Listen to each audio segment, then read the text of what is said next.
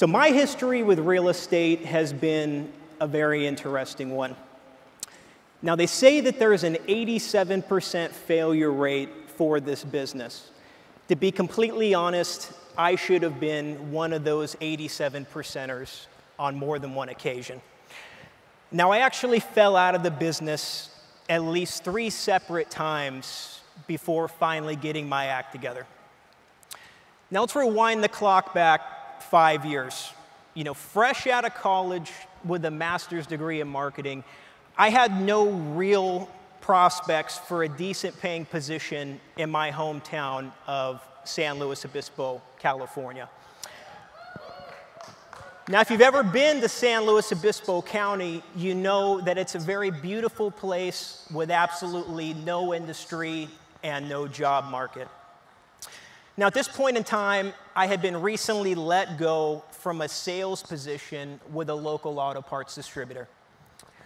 Now, having no real ambition to pursue a job working for a winery or waiting tables for the rest of my life, I decided to pursue an industry that I knew had real income potential. Now, being a big second home and retirement community, you know, real estate can be a very lucrative avenue. So I decided to renew my license and team up with a local brokerage. Now, I'd saved up around 20 to 25 grand to start my business. So I purchased some, a headshot and launched a crummy little website, and of course, purchased some business cards. So, taking a look at my headshot from my first year in the business, I look like my mom dropped me off for picture day. You know, to this day, that picture is still on my grandmother's refrigerator. Now, looking back on things, my mindset at the time seriously cracks me up. You know, I was expecting to jump into the business with $20,000, no experience, incredibly young looking, mind you, and of course, working with baby boomers who treated me like their grandchild and thought that I would just buy internet leads and crush it in the business. Let me be the one to tell you, folks, that I was wrong. I was so very wrong. And in three months, I was flat broke and clinging on to a $90,000 mobile home deal that I generated off of a Craigslist ad like it was the most important thing in the world.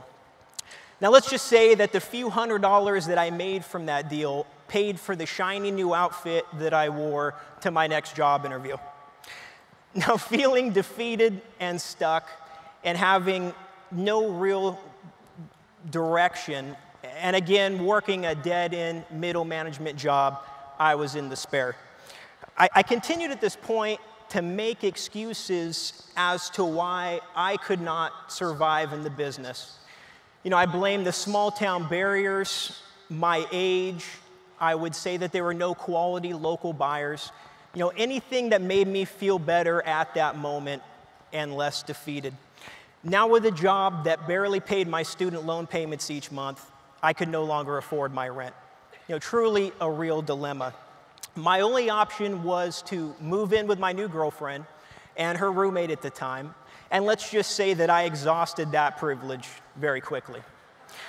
Now, my only option was to move back in with my family.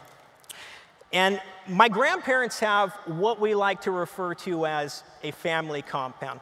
You know, and this is a sizable property where you can find at least four generations of my family under one roof at one time. You know, truly a horrifying sight. As many of you know, living with your family in your 30s is very high up on your list of desires. You know, right next to hanging yourself. So clearly, I had hit rock bottom and I was ready for a change. Now, in about four weeks, I had become completely disgusted with my current position as a marketing director for a local footwear distributor.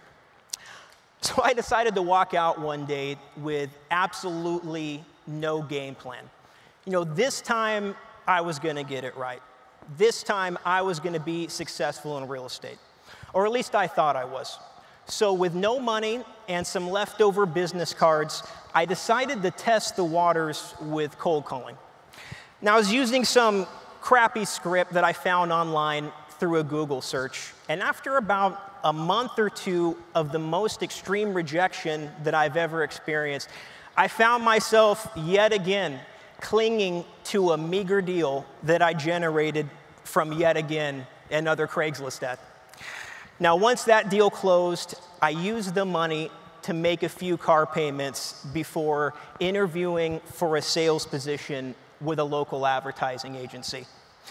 Now, still feeling very motivated and driven to succeed in the business, I would sneak away at the office to call on expired listings and post ads. And after about two months of zero sales, my supervisor quickly realized that clearly I had been taking advantage of the situation.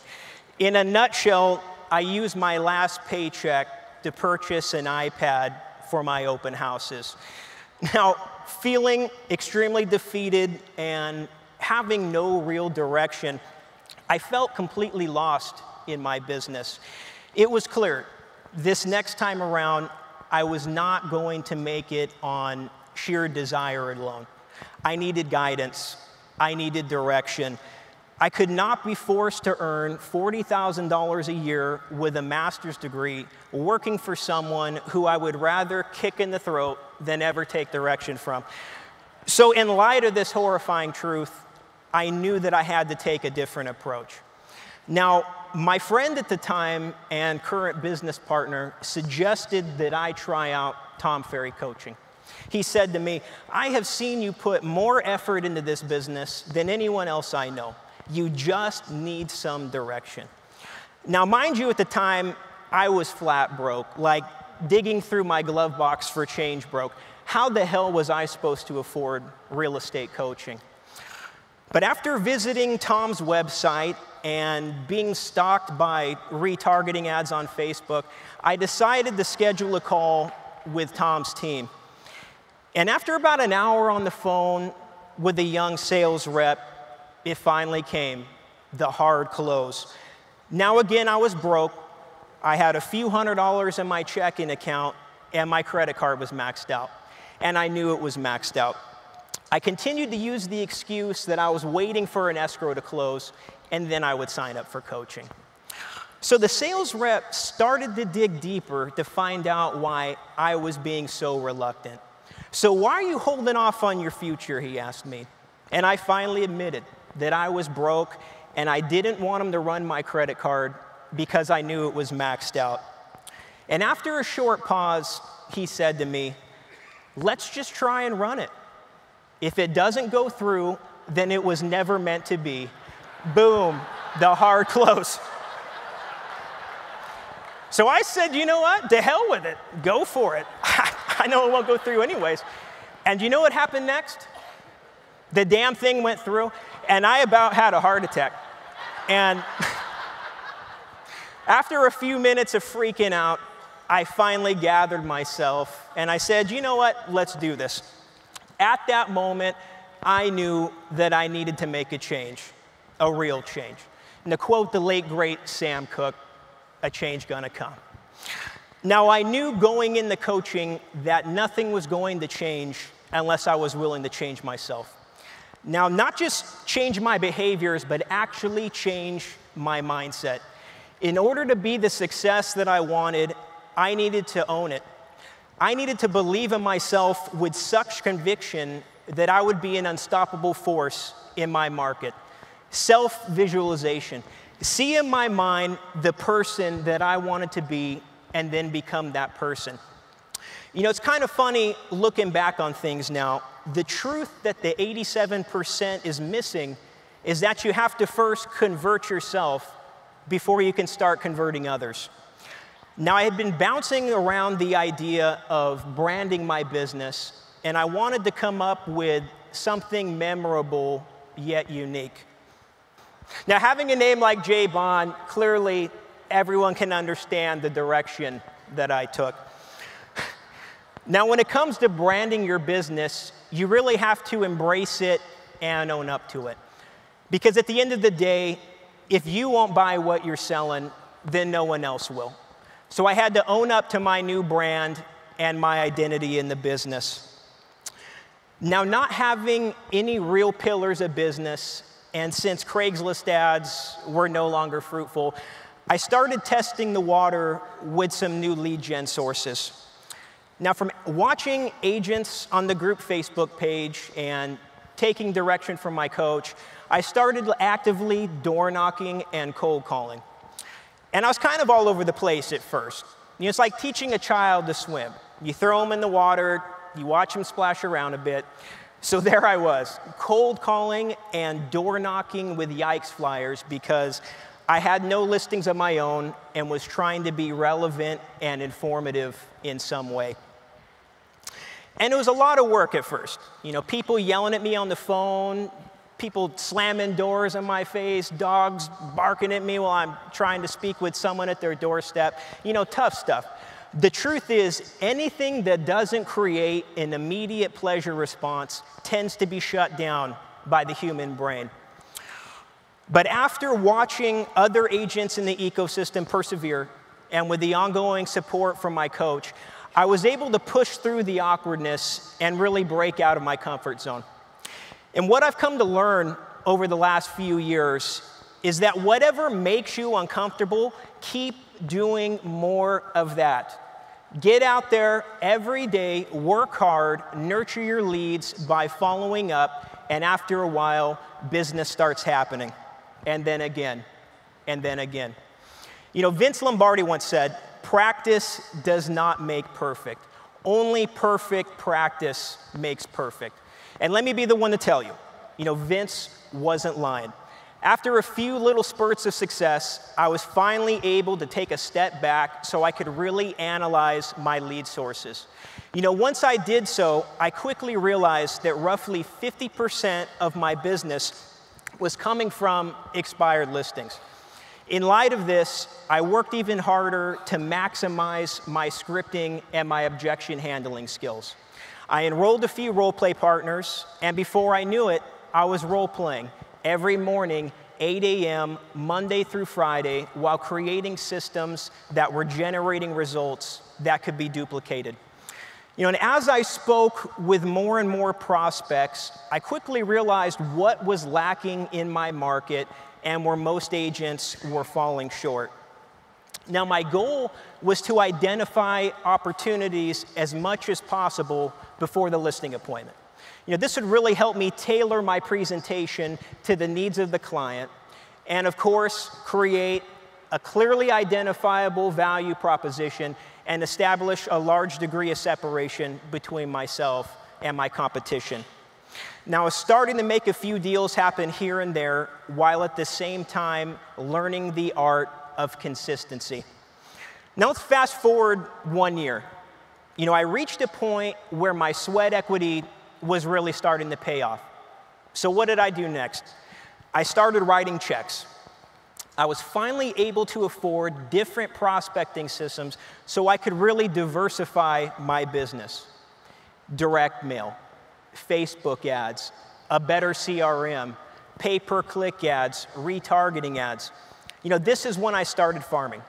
I was able to convert my first listing out of my farm off of an expired listing. And it was a lot of work on this one.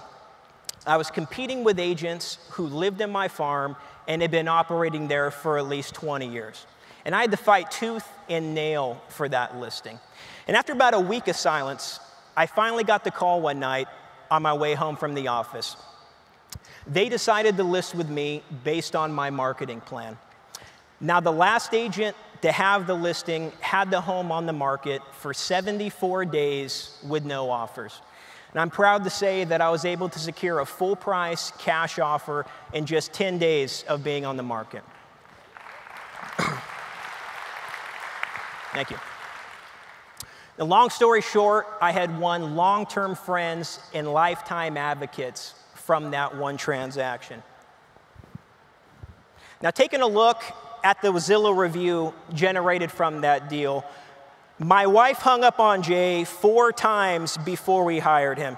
Literally the best review ever. Now, I was starting to build a track record as an agent who could get homes sold where others could not. So, what did I do at this point? I started leveraging that track record by sending out social proof postcards, shooting social proof videos, posting those videos on social media, and emailing those videos to my database. Now, instead of just prospecting each day, people were starting to seek me out for my services. A real game changer. Now, I want to be completely honest with everyone. The proof is in the pudding, the dollars are in the follow up. Follow up is truly the key to success in this business. Now, most agents will fall short after a few months of calling on a prospect, just due to the massive amounts of rejection and their overall lack of discipline. The truth is, once you call on a prospect every month for six months, you really start to build a solid rapport with the prospect. By that time, all the other noise and distraction from competitors has really begun to die down. You get to know them on a more personal level, and they start to trust you. You almost reach a point where they're glad that you called so you can discuss the market with them. Hello, Bob. Hey, this is Jay Bond. You know, I just wanted to call and check in with you. Did you know that your neighbor's house down the street just sold for $800,000? How much you think your home would sell for? You know, I've had this process go on for a year, two years, sometimes almost three years before finally getting a sit down meeting. On average, we've noticed a 12 to 24 month conversion ratio for most expired listing leads.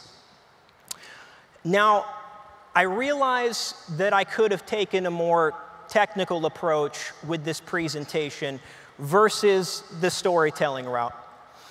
And I, I want to be the one to tell you all today that there are plenty of ways to prospect for new business, plenty of tools and services designed to help you find these leads.